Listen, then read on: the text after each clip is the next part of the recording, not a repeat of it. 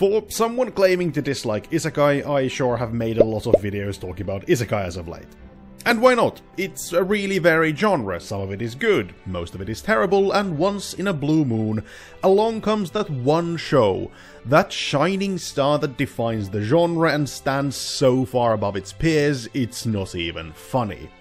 And for Isekai, that one just happens to be the granddaddy of modern Isekai, Mushoku Tensei Jobless Reincarnation. Hello and welcome you beautiful people. That's right, there actually exists an isekai which I like, besides Saga of Tanya the Evil, which is great, Gate, which isn't, but I still like it, and ReZero that I still need to make a video about. And maybe I don't actually hate isekai as much as I think I do.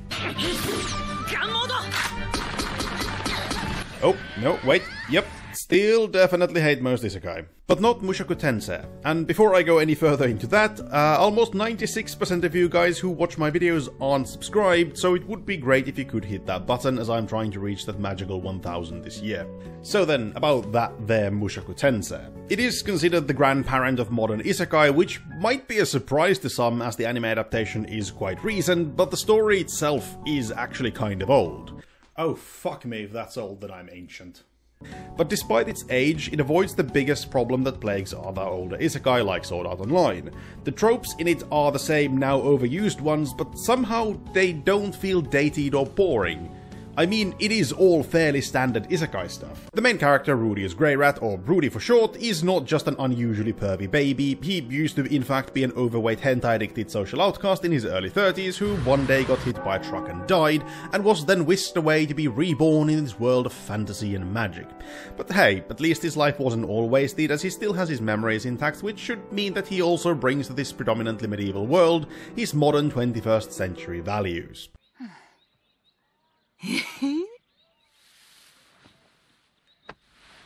Too bad his values may be just a tiny bit skewed from, you know,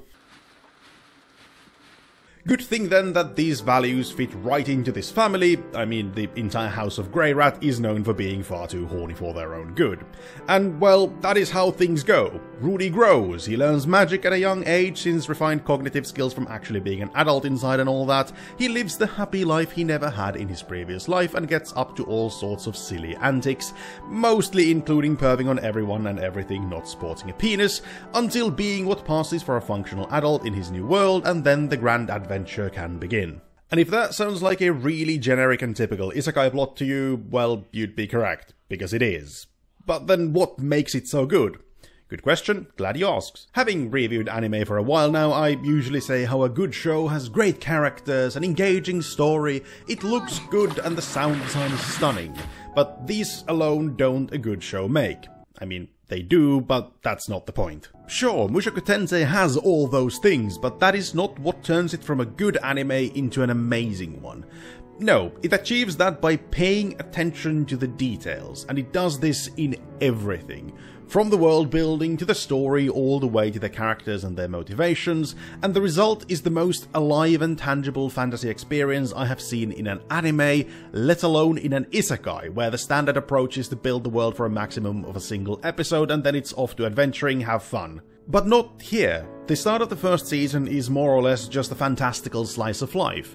It's Rudeus and his family living their lives, meeting new people and overcoming family issues, like why both father and son behave like hentai protagonists all the way to Rudy getting a job at the ripe old age of 7, since, you know, medieval society, what even are child labour laws. Now, sure, this kind of a very protracted start might ruin a lot of other shows. I mean, when the biggest problem the main character faces is trying to figure out how to deal with his father's infidelity, or that his teacher might find out that he stole her panties, the stakes aren't all that high for what promises to be a fantasy epic about gods, dragons, and dragon gods. But naturally, there is method to such madness. I mentioned how everything in Mushoku Tensei is rife with meticulous detail, which makes it so damn good, and that is exactly why it takes time to get going. Everything is given a reason for being the way it is. No matter how minute, there is some detail behind it all, and establishing that, well, takes time. If you don't intend to have an episode of just non-stop word vomit, that is. But as backward as it might sound, that is also what allows the story to be told in this way. Little bits of humanity is breathed into the characters, we are told how the world is the same as ours in some sense, and very different in others. It gets to the point where the world and the characters inhabiting it become something more than just parts of a story, which in turn makes it so engaging that you don't need those big world shattering events to keep the audience engaged and loving every bit of it. And then you get that big world shattering event that both changes everything and emphasizes how nothing has actually changed. Mushoku Tensei is a perfectly imperfect story filled with characters that come with a hefty dose of humanity.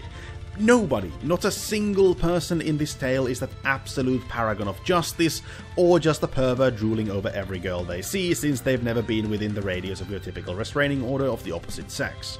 They all have layers upon layers of shortcomings and trauma they are now trying to overcome in a quest to better themselves. And nowhere is this more apparent than in Rudeus himself. I mean, look at him.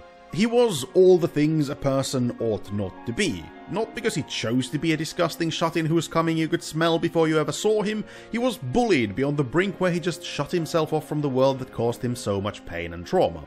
And none of this is forgotten, even now that he has a new chance. Rudy's view of the world and people is so far skewed in the wrong direction that it affects everything he does. He doesn't just forget his trauma, but learns to live with it now that he is surrounded and supported by people that care for him. It's a redemption arc for a deeply flawed person that does things wrong, but is also willing to learn and to grow, to become a better person, and sure, not everything he does is worth rooting for or can even be justified, and that's the point. Rudy does things that are, well, creepy, and not in a horror kind of way, but in an incel kind of way. 起きないか。しょうがないな。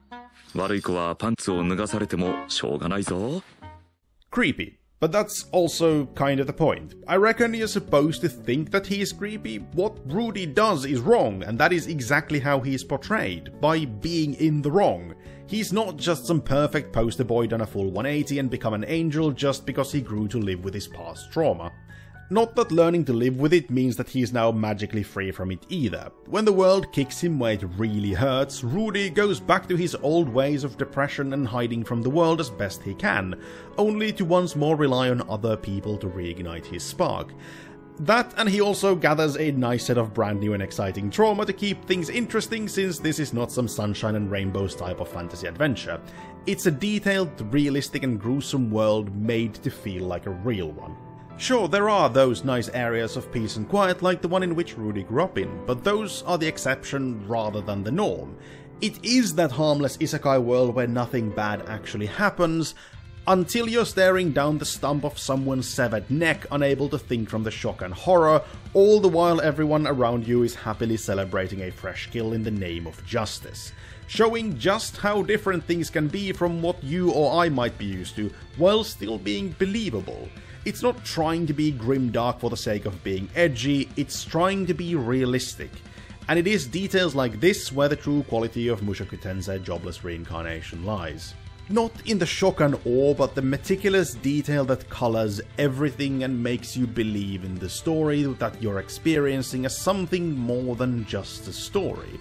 This is how the show can go from fighting gods and opposing slavery into trying to cure Rudy's erectile dysfunction, all the while not losing any of its luster. It's simply an incredibly engrossing anime that is more than just another isekai. It's an experience, and if you don't want to take my word for it, the studio behind it, you know, Studio Bind, it was founded in order to bring this masterpiece of a story into the animated format. That is how much faith they had in this story, this world, and these characters.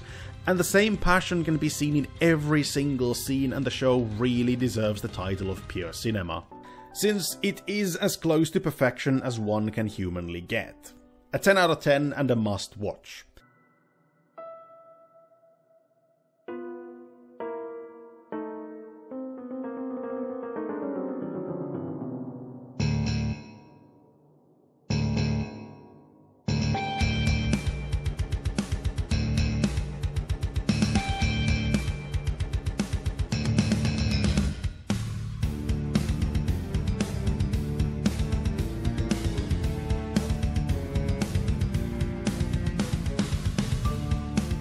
Thank you for watching, leave your thoughts in the comments below. Did you agree or disagree with my verdict? If you like this, like it, dislike if you didn't. Subscribe for more anime goodness and check the links in the description if you want to engage with me outside of YouTube. With this, I have been Cheese and I hope to see you next time. Ta-ta for now.